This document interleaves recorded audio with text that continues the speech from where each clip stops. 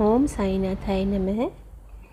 आइए जानते हैं कि साईं बाबा साठ वर्षों तक लगातार गेहूँ क्यों पीसते रहे चक्की में? आपको एक घटना बताती हूँ। यह घटना सन 1910 की है। उस दिन हेमाड पंत श्री साईं बाबा के दर्शन करने के लिए मंदिर गए तो उन्हें यह देखकर घोर आश्चर्य हुआ कि साईं बाबा हाथ मुँह धोकर आँगन में टाट के टुकड़े पर रखी चक्की में गेहूँ डालकर उन्हें पीस रहे थे। उन्हें ऐसा करते ना देखकर हेमा हेमाड़ पंत, बल्कि वहाँ उपस्थित। सभी भक्तजन सोच विचार करने लगे कि बाबा का कोई परिवार भी नहीं है और जीवन निर्वाह भी वे भिक्षा मांग कर करते हैं। तो फिर उन्हें गेहूँ पीसने की आवश्यकता क्यों हुई? लेकिन बाबा के कारण पूछने की किसी को हिम्मत नहीं हुई। कारण कि साईं बाबा क्षण भर में रुष्ट हो जाते थे तो क्षण भर में प्रसन्न भी हो जाते थे। बाबा द्वारा गेहूँ पीसने की खबर शिरडी में सब तरह तरफ़ फैल गई थी, इसलिए धीरे धीरे लोगों की भीड़ जुटने लगी। बाबा को गेहूँ पीसता देखकर भीड़ में से चार स्त्रियाँ आगे आई और बाबा के पास पहुंचकर उन्हें हट करके वहाँ से उठाया और स्वयं गेहूँ पीसने लगे। साथ ही वे साई लीला का गान भी करती जा रही थी। उन स्त्रियों के ऐसे व्यवहार से पहले तो बाबा क्रोधित हुए, लेकिन चंद मात्र में ही स्त्रियों के भक्ति भाव को देखकर प्रसन्न हो गए और मुस्कुराने लगे। गेहूँ पीसती उन स्त्रियों ने सोचा कि बाबा के घर बार तो है नहीं तो वो गेहूँ किसके लिए पीस रहे हैं? इन्हें तो भिक्षा मिल जाती है। उन्होंने सोचा कि बाबा तो बड़े दयालु हैं। हो सकता है कि वो लोगों को बांटने के लिए गेहूँ पीस रहे हों। वो ऐसा सोचती भी जा रही थी और साथ में साईं बाबा का गान भी करती जा रही थी। इस तरह से उन्होंने बहुत सारे गेहूँ पीस दिए। फिर सारा इकट्ठा इकट्ठा किया और चक्की वहाँ से हटाकर आटे के चार भाग कर दिए और अपना अपना हिस्सा लेकर जाने लगी। लेकिन तभी शांत मुद्रा में बैठे बाबा एकाएक क्रोधित हो गए। और उन स्त्रियों को डांटते हुए बोले, अरे, तुम पागल तो नहीं हो गई हो? किसके बाप का माल समझकर आटा लेके जा रही हो? यह क्या किसी कर्जदार का माल है, जिसे तुम इतने आराम से उठा कर ले जा रहे हो?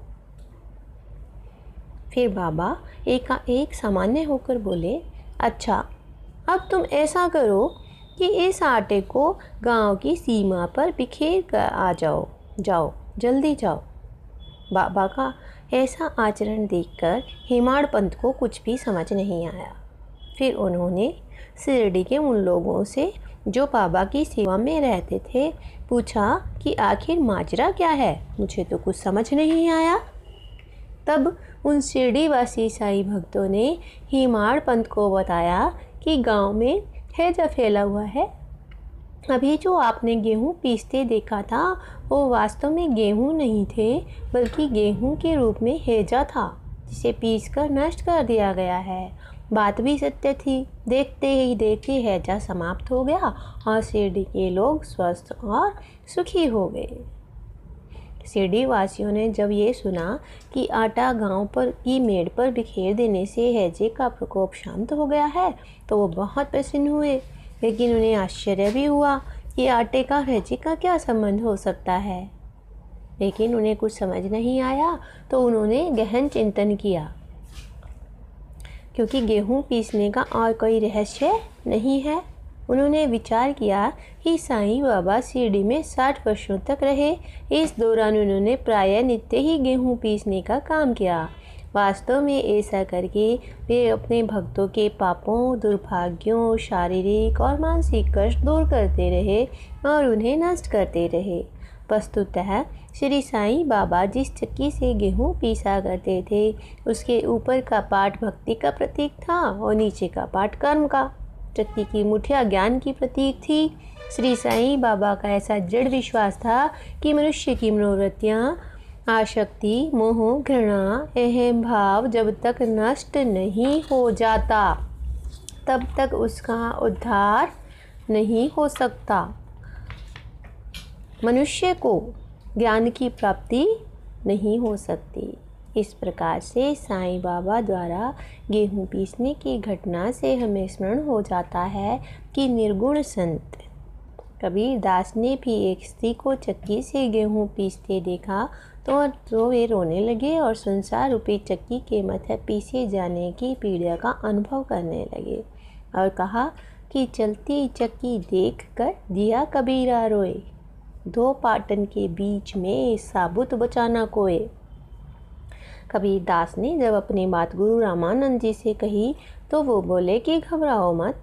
चक्की के केंद्र में जो दंड है, वह ज्ञान का प्रतीक है। उसी ज्ञान रूपी दंड को दृढ़तापूर्वक पकड़े रहो। जैसा कि मैं कर रहा हूँ, वैसा ही तुम भी करो। ज्ञान रूपी दंड से दूर मत हो जाओ, उस केंद्र की ओर बढ़ते चलो। ऐसा करोगे तो निश्चय ही तुम संसार रूपी सागर की चक्की से बाहर निकल जाओगे। ओम साई नमो नमः।